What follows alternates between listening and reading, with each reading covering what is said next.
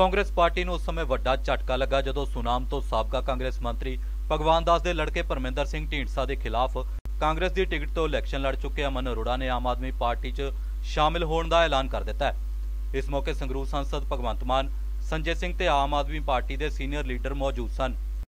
ਮੈਂ ਜਿਸ ਤਰ੍ਹਾਂ ਦੀ ਰਾਜਨੀਤੀ ਪਿਛਲੇ 25 ਸਾਲਾਂ ਦੇ ਵਿੱਚ 1991 ਤੋਂ ਆਪਣੇ ਪਿਤਾ ਸਵਰਗੀ ਬਾਬੂ ਭਗਵਾਨ ਦਾਸ ਜੀ ਅਰੋੜਾ ਤੋਂ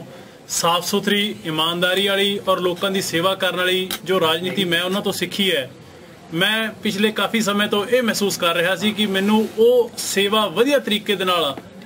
ਆਮ ਆਦਮੀ ਪਾਰਟੀ ਦੇ ਵਿੱਚ ਮੈਂ ਸਭ ਤੋਂ ਵਧੀਆ ਤਰੀਕੇ ਦੇ ਨਾਲ ਉਹ ਸੇਵਾ ਕਰ ਰਿਹਾ, ਕਿਉਂਕਿ ਇਸ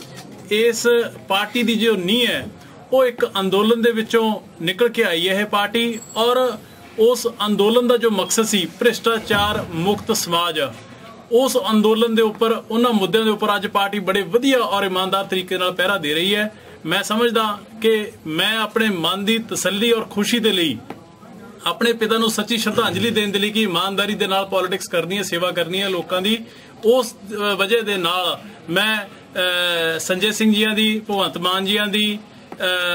ਦੁਰਗੇਸ਼ ਪਾਠਕ ਜੀਆਂ ਦੀ ਸਾਰੇ ਸਾਥੀਆਂ ਦੀ ਪ੍ਰੇਰਣਾ ਸਾਰੇ ਲੀਡਰ ਸਾਹਿਬਾਨ ਦੀ ਪ੍ਰੇਰਣਾ ਦੇ ਸਦਕਾ ਮੈਂ ਸਮਝਦਾ ਕਿ ਮੈਨੂੰ ਇਸ ਪਾਰਟੀ ਦੇ ਵਿੱਚ ਸ਼ਾਮਲ ਹੋਣ ਦਾ ਮੌਕਾ ਮਿਲਿਆ ਔਰ ਮੈਂ ਆਪਣੇ ਆਪ ਨੂੰ ਦੇ ਵਿੱਚ ਬਹੁਤ ਵੱਡਾ ਮਾਣ ਮਹਿਸੂਸ ਕਰ ਰਿਹਾ ਕਾਂਗਰਸ 'ਚ ਜਿਹਾ ਮਾਹੌਲ ਹੈ ਨਹੀਂ ਸੀ ਜੀ? ਦੇਖੋ ਘੁੱਟਣ ਮਹਿਸੂਸ ਹੋ ਰਹੀ ਸੀ ਜਿੰਨੇ ਇਮਾਨਦਾਰ ਸੱਚੇ ਸੁੱਚੇ ਲੋਕ ਨੇ ਉਹਨਾਂ ਨੂੰ ਭ੍ਰਿਸ਼ਟਾਚਾਰ ਦੀ ਵਜ੍ਹਾ ਕਰਕੇ ਵੀ ਭੇਦਭਾਵ ਕਰਕੇ ਵੀ ਵੀਆਈਪੀ ਕਲਚਰ ਕਰਕੇ ਵੀ, ਇਹਨਾਂ ਚੀਜ਼ਾਂ ਦੀ ਘੁੱਟਣ ਮਹਿਸੂਸ ਹੁੰਦੀ ਹੈ। ਉਹ ਲੰਬੇ ਸਮੇਂ ਤੋਂ ਰਾਜਨੀਤੀ 'ਚ ਵਿਚਰ ਰਿਹਾ ਔਰ ਇਮਾਨਦਾਰ ਤੇ ਪਾਰਦਰਸ਼ਤਾ ਤੇ ਸੱਚੀ ਸੁੱਚੀ ਸੇਵਾ ਭਾਵਨਾ ਵਾਲੀ ਰਾਜਨੀਤੀ 'ਚ ਅਰੋੜਾ ਪਰਿਵਾਰ ਵਿੱਚ ਰਹੇ। ਇਹਨਾਂ ਦੇ ਪਿਤਾ ਜੀ ਤੋਂ ਅਸੀਂ ਬਹੁਤ ਪ੍ਰਭਾਵਿਤ ਰਹੇ ਹਾਂ ਕਿ ਉਹ ਬਹੁਤ ਸਧਾਰਨ ਤੌਰ ਜ਼ਿੰਦਗੀ ਜਿਉਈ ਉਹਨਾਂ ਨੇ ਔਰ ਆਮ ਲੋਕਾਂ ਦੇ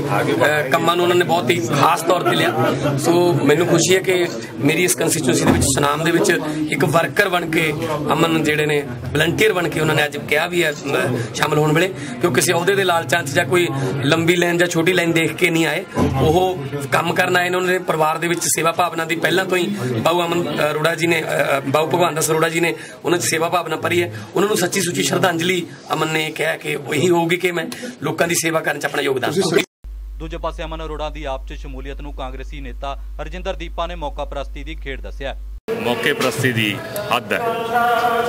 ਕਾਂਗਰਸ ਪਾਰਟੀ ਨੇ ਇੰਨਾ ਮਾਨ ਦਿੱਤਾ ਹੋਵੇ ਜਿਸ ਸ਼ਖਸ ਨੂੰ, ਜਿਸ ਪਰਿਵਾਰ ਨੂੰ ਦੋ ਵਾਰੀ ਟਿਕਟ ਦਿੱਤੀ ਹੋਵੇ, ਆਲ ਇੰਡੀਆ ਕਾਂਗਰਸ ਕਮੇਟੀ ਦਾ ਮੈਂਬਰ ਬਣਾਇਆ ਹੋਵੇ, ਅਹੁਦੇਦਾਰੀਆਂ ਦਿੱਤੀਆਂ ਹੋਵੇ, ਇੱਜ਼ਤ ਮਾਨ ਦਿੱਤਾ ਹੋਵੇ, ਅੱਜ ਉਸ ਪਾਰਟੀ ਨੂੰ ਛੱਡ ਜਾਣਾ ਇਹ ਬਹੁਤ ਵੱਡਾ ਮੌਕਾ ਪ੍ਰਸਤੀ ਹੈ। ਮੈਂ ਸਮਝਦਾ ਜਿਹੜਾ ਰਾਜਨੀਤੀ 'ਚ ਪੈਸੇ ਦਾ ਬੋਲਬਾਲਾ ਵੱਧ ਰਿਹਾ ਉਹਦਾ ਹੀ ਪ੍ਰਤੀਕ ਹੈ। ਪਰ ਮੈਨੂੰ ਇਹਦੇ ਜਾਣ ਦਾ ਐਡਾ ਕੋਈ ਅਫਸੋਸ ਨਹੀਂ, ਪਰ ਮੈਨੂੰ ਇਸ ਚੀਜ਼ ਦਾ ਅਫਸੋਸ ਹੈ ਕਿ ਆਪ ਪਾਰਟੀ ਜਿਹੜੀ ਇੱਕ ਕਹਿੰਦੇ ਕਿ ਅਸੀਂ ਬੜੀ ਨਵੀਂ ਤੇ ਅਲੱਗ ਸੋਚ ਨਾਲ ਪੰਜਾਬ 'ਚ ਆ ਰਹੇ ਹਾਂ, ਕਿ ਅਸੀਂ ਬਦਲਾਅ ਲਿਆਉਣਾ ਚਾਹੁੰਦੇ ਹਾਂ। ਪਰ ਇਹੋ ਜਿਹੇ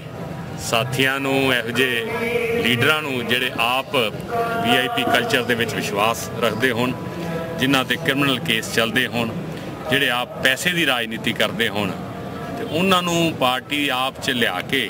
ਮੈਨੂੰ ਸ਼ੱਕ ਹੁੰਦਾ ਹੈ ਉਹ ਕਿਸ ਤਰ੍ਹਾਂ ਦਾ ਬਦਲਾਅ ਇਹਨਾਂ